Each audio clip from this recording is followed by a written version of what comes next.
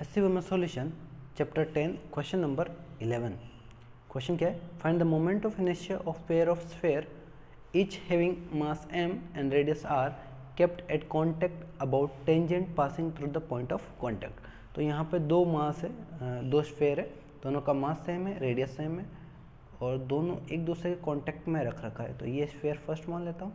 ये मेरा second sphere है, और दोनों एक दूसरे से कॉन्टैक्ट में है।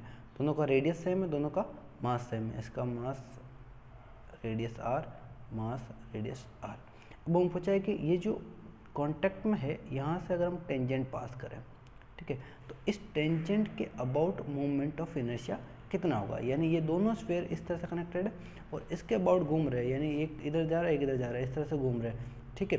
तो ये दोनों स्फेयर एक दूसरे के टच में है और ये रोटेशन कर रहे हैं इस तरह से, ठीक है? तो मूवमेंट ऑफ़ इनर्शिया कितना होगा वो निकालना है। तो सबसे पहले एक स्फेयर की वजह से निकाल देता हूँ, फिर दूसरे स्फेयर की वजह से भी सेम होगा, क्योंकि ये दोनों सेम टेंजेंट है। तो देखो, ये अपना सेंटर होगा एक स्फेयर का, ये दूसरे स्फेयर का सेंटर तो मेरे को डायमीटर से मोमेंट ऑफ़ इनर्शिया कितना होता है वो पता है। ये कितना होता है? ये आई जी है। ये मेरे को निकालना है, ठीक है? ये मेरे को पता है moment of inertia passing through diameter ठीक है, ये कितना होता है? आई जी आई जी होता है, ये ये होता है two by five M R square right two by five M R square होता है जो डायमीटर से पास होता है। अब देखो, यहाँ पर मैं पैरेलल एक्सेस थ्योरम अप्लाई कर सकता हूँ। पैरेलल पैरेलल एक्सेस थ्योरम क्या होता है?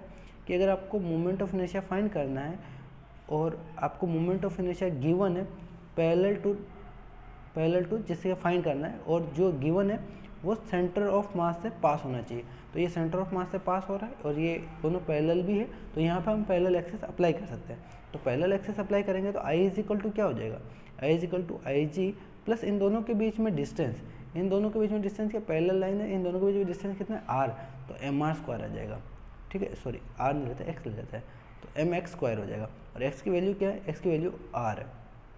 ठीक है? तो यहाँ पर मैं लिख सकता हूँ फ़र्स्ट की वजह से आएगा वो फ़र्स्ट की वजह से आएगा I G plus M R square यानी ये आएगा two by five M R square plus M R square यानी आएगा फाइव फाइव तो seven M R square by five ये फ़र्स्ट स्फेयर की वजह से आया। इसी तरह से सेकेंड स्फेयर की वजह से क्या आएगा? Seven by five M R square right तो टोटल मोमेंट ऑफ़ इनर्शिया कितना आएगा? I one plus I two तो सात सात fourteen fourteen by five M R square अगर आपको किसी भी क्वेश्चन का वीडियो सोल्यूशन चाहिए तो चैनल सब्सक्राइब कीजिए, फिर जो भी क्वेश्चन हो कमेंट बॉक्स में क्वेश्चन नंबर और चैप्टर नंबर कमेंट कीजिए।